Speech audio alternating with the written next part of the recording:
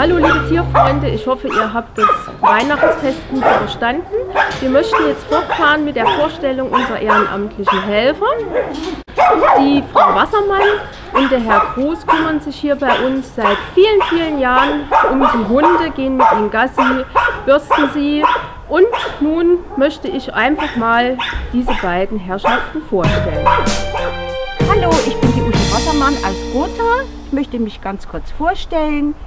Ich komme schon zwölf Jahre in das Tierheim Arche Noah. Vorher habe ich in Tambach-Dietharz gelebt und vom Berufswegen aus musste ich nach Gotha ziehen. Und mein Wunschtraum war schon immer, äh, Tieren in Not zu helfen. Deshalb bin ich in die Arche Noah gekommen und habe da sehr viel erfahren können über Tiere. Schönes und auch nicht ganz so Schönes. Aber das ist nun mal so in einem Tierheim, mit dem man dann versuchen muss, umzugehen. Neben einer beruflichen Tätigkeit in der Altenpflege finde ich doch täglich mindestens zwei Stunden Zeit, um mit Tieren bzw. Hunden spazieren zu gehen. Hierbei handelt es sich um Hunde mit verschiedenen Gründen, die Probleme haben, zwecks Gesundheit, aus Altersgründen Beziehungsweise gehe ich auch mit Hunden, wie zum Beispiel unser Cliff, der leider nicht mehr vermittelbar ist, weil er besondere Eigenheiten hat. Äh, es gibt sehr viel zu erzählen und ich könnte bestimmt ein ganz dickes Buch schreiben über all diese Tiere, die wir schon hatten. Es gibt viele freudige Momente, es gibt viele traurige Momente und es ist nun mal so, dass man die Tiere auch bis zum letzten Tag bekleidet und es fließen manchmal viele Tränen und das nicht nur einen Tag.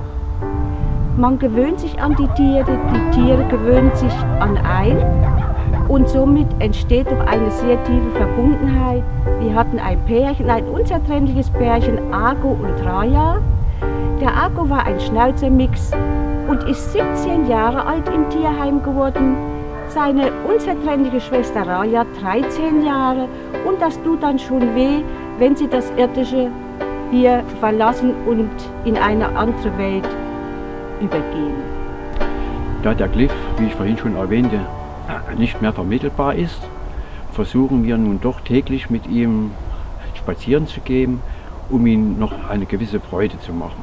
Meine Lebensaufgabe ist, äh, Tiere, die schon sehr betagt sind, und auch Tiere, die kränklich sind, denen ein Stückchen Lebensqualität noch zu geben.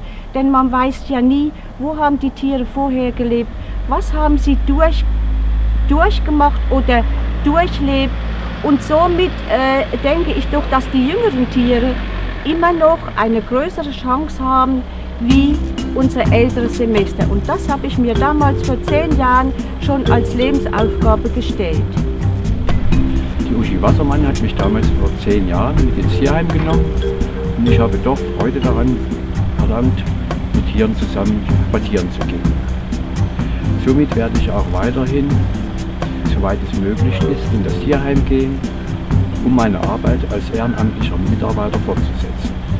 Für uns ist es ganz, ganz wichtig, wenn wir mit unseren Tieren spazieren gehen, dass wir immer eine Ersatzleine dabei haben, immer ein paar Gummihandschuhe dabei haben und auch immer das Handy am Mann haben im Falle eines Falles, dass irgendwo äh, angerufen werden muss.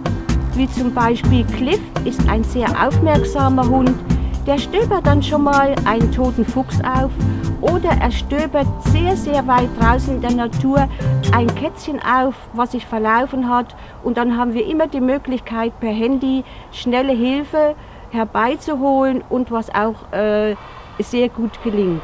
Zwei Sachen habe ich mir noch herausgepickt, die ich noch hier für unser Tierheim besonders hervorheben möchte. Und zwar ist das die Kombination von der Tierheimleitung, die Kombination mit den Tierpflegern und wir als Gassigänger, dass wir gemeinsam an einen Strang ziehen, denn so können wir das Optimalste für unsere Tiere hier im Tierheim erbringen. Ganz besonders möchte ich mich bei Katrin Schallenberg bedanken. denn sie macht das ganz wunderbar, wenn Tiere vermittelt werden. Äh, werden wir meistens herbeigerufen, um denen, den Menschen, die das Tier gerne mit nach Hause nehmen möchten, noch einige Hinweise geben können. Denn wenn wir länger draußen sind, kennen wir die Tiere dann besser aufgrund äh, der Gegebenheiten. Die andere Seite ist, es ist egal, mit welchem Anliegen man kommt, man wird immer angehört und manchmal ist auch ganz schnelle Hilfe äh, angeraten, auch das wird sofort gemacht. Möchte mich dafür ganz, ganz herzlich bedanken, möchte mich auch bedanken ähm, für die Vertrautheit, die mir entgegengebracht wird.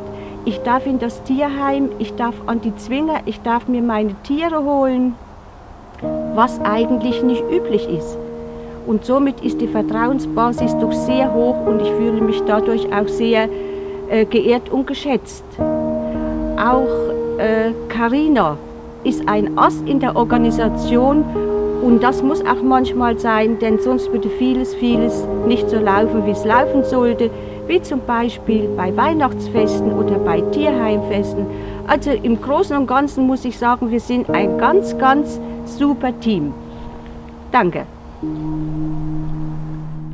Liebe Zuschauer, ich hoffe, wir sehen uns im nächsten Jahr wieder. Für dieses Jahr soll es erstmal von dieser Stelle gewesen sein. Wir werden die Serie unserer ehrenamtlichen Helfer im nächsten Jahr fortführen. Ich bedanke mich für alles, was bisher für uns getan worden ist. Unsere ehrenamtlichen Helfer sind eine große Bereicherung für unser Tierheim. So weiter, bitte bleibt bei uns, helft uns weiter und ich wünsche allen einen guten Rutsch ins Jahr 2017.